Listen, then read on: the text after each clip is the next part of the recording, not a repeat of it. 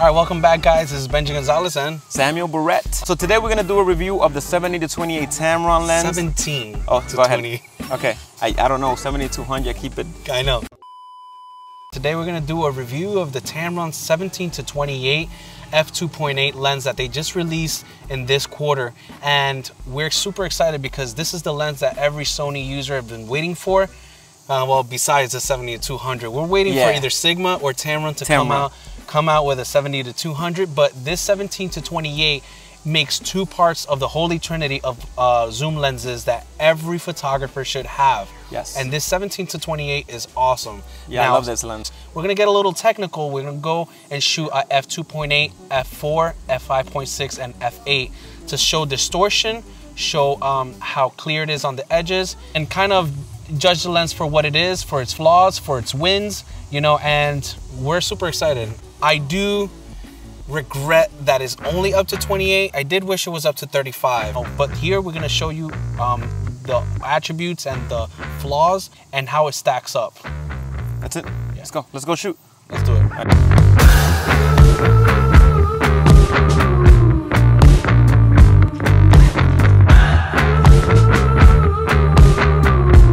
All right, we're gonna shoot this now f2.8. Everything is leveled, the camera's leveled. I want you to see the staircase as it bows, right? Um, so, so you can see how the distortion is on the lens. And then we're gonna zoom in in post. Okay.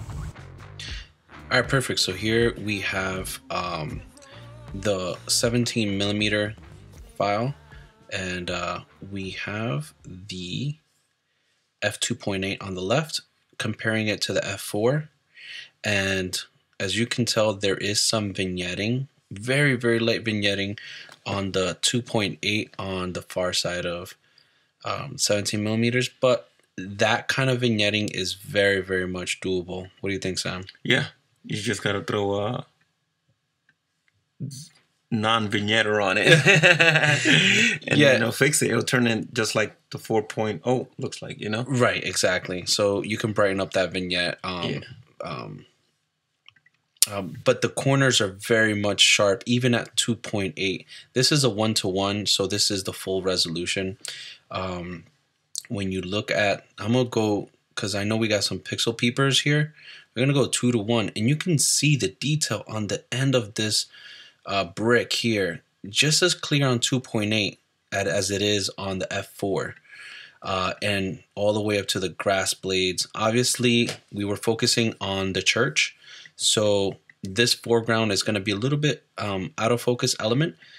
Um, but again, you could see the detail even to the far end. You can see all the detail in the cement. Um, You won't be able to tell. The only thing you can really tell if you go back to the buildings on this side. oh my God, we just caught this guy looking at us. Oh wow, that's creepy.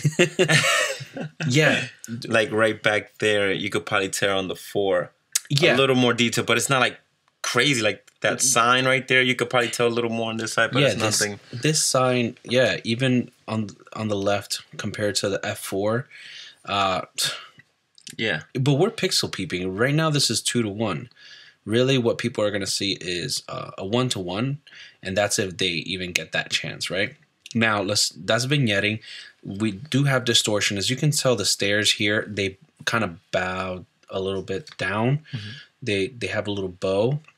Um, obviously, we were shooting from low to high, so you know, um, naturally, you know, everything is going to kind of uh, bend inwards. So these church towers are going to bend inwards. But I really wanted to show you, um, we weren't shooting too far low, um, but we were really focusing on the stairs and to show you just how much um, of a distortion it does cause.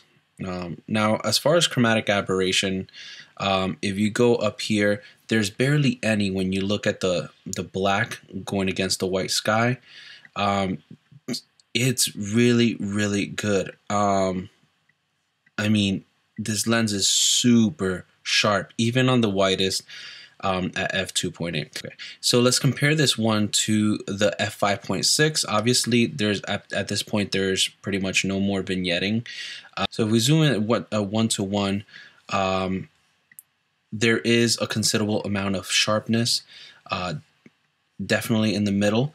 You, if you're pixel peeping, you'll see that it is much sharper in the middle. When you see uh, right here in this circular design of the church, uh, is much sharper, but you will not notice these bricks right here. There's um, a lot more detail, but again, it, this is like if you're pixel peeping. Yeah, it makes you want to think, do I need to shoot anything above 2.8, right? Yeah. Because it looks so sharp. It absolutely does. I mean, again, you can see the micro contrast on the bricks here a little bit better. Like if you look at this brick right here um, compared to this brick right here, you could see more detail on on on the right side, which is at 5.6. But I mean, it's it's so minimal. You, you can't you you can't even discard it. When you look at the tree, you obviously see a little bit more detail in the tree. Here it looks just a little bit more blurred out, but again, you're talking about so minimal. Um, so minimal that is not going to discourage me from trying to shoot for a 2.8. Yep.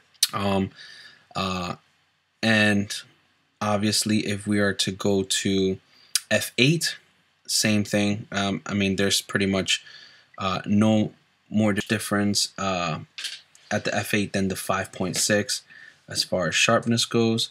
Um, they're both sharp in the center. Uh, they're both sharp on the edges, even along the railing here. So you can guarantee that, you know, all the way from 2.8, there is some vignetting, there's some distortion, Yeah. but um, it definitely is um, a step up. So now let's move over to um, the far end of the lens, 28 millimeters, right? We have the f2.8 here on the left and f4, right? Now, oh, sorry.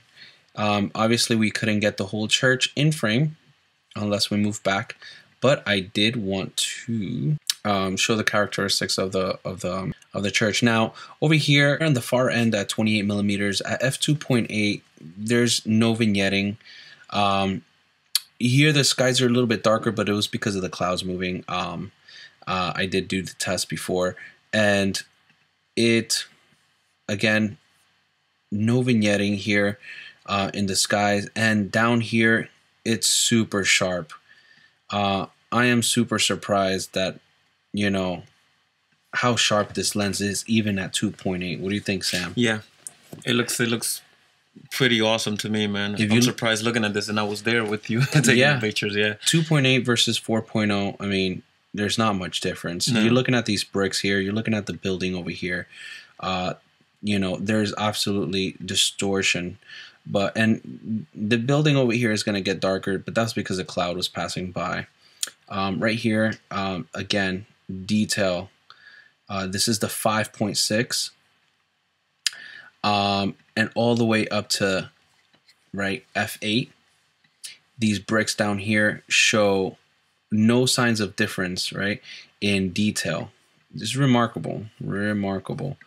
Um, right here as well, you know, the contrast is, is pretty much minimal. It's super sharp, super, absolutely super sharp on all edges, um, which is usually what we're looking for in a lens. Uh, how sharp it is, we're looking at chromatic aberration and we're looking at distortion. Now, there is distortion. Um, here in this shot. But um, I was focusing mostly on the stairs, on the stair end um, of the shot, not trying to get the whole church. But um, and there is a kind of like a, a distortion on the bottom um, as it bows in, but very easily correctable in Lightroom. All right, perfect. So we got our shots. I want you to look at all the attributes this lens has. It's obviously amazing. It does have distortion and it does have a little bit of vignetting, but these are things that you can correct and post. Um, you know, in in in a big batch of photos. Now I want to see how Sam takes advantage of this lens and you know shoots Ariana in the middle of it, getting this grand entrance of this beautiful church. So Sam, is your turn. Why don't you take a test shot with me? Okay, no. Just nah, we're good. I don't want my camera to break. Así vas a hacer conmigo. Me gusta, me gusta tratarte mal. Porque te lo mereces. Alright, let's go one more time. You're looking great, looking great, girl. One, two, three. Just like the attention, it's written all over your face. Three. Love it. Let me take a look at that one. That's nice. Oh, that looks so dope. Couple more.